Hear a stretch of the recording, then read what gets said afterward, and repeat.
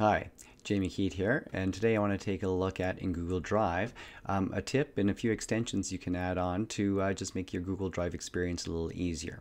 So my first tip is uh, is the bookmark tip. So if you have a folder that you tend to go to um, back and forth lots, what you can do is I'm going to use this example one as an example. Let's say this is the folder and I go inside it.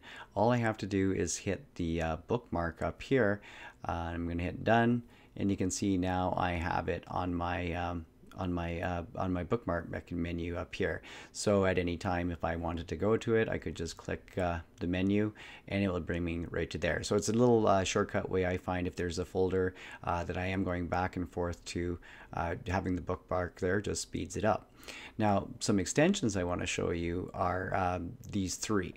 Uh, this one right here, it looks the same as the other one beside it, but I'll hold my mouse over it. It says uh, Google Docs Quick uh, uh Quick Create, and if I select it, you can see it uh, links. Um, if I need to go to a quick document, it opens it up uh, right away without logging anything in. So I, I find that's a nice handy one to have. Um, just have easy access to create my files very very quickly.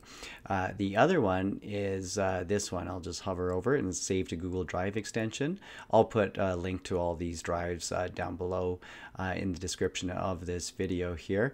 But uh, how it works is, uh, so let's say I'm on this uh, Popular Science website, I can, when I select this, what I can do is it will actually take a take an image of the whole page. It goes through and it will save.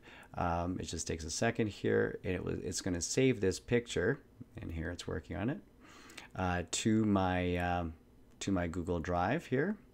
It'll just take a second here. Hopefully it doesn't get hung up. All right, so I'll close this up here.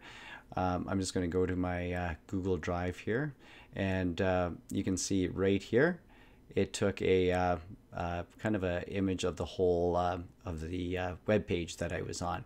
But I, I don't really use it for that as much. What I like to do is if I'm looking for a specific picture, if I right click on the picture, I can um, I can just uh, save the image right to uh, my Google Drive. So that's kind of how I like to use a little bit more. But if you like to save your websites uh, um, like the previous way, you can go ahead and do that.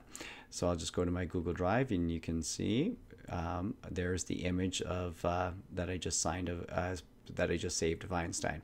The uh, third extension, what I like is um, it's called uh, OmniDrive, and I have it added in. So if I type the word uh, drive uh, and then give it a space, now I can search my entire drive without going into it. So if I was looking for, let's say, something report cards and uh, then what you notice what will happen it brings me right to uh, my uh, folder of report cards or anything that has report cards uh, written into it. So those are three little extensions and a tip that I would that I use for uh, Google Drive and I'd recommend uh, to you too.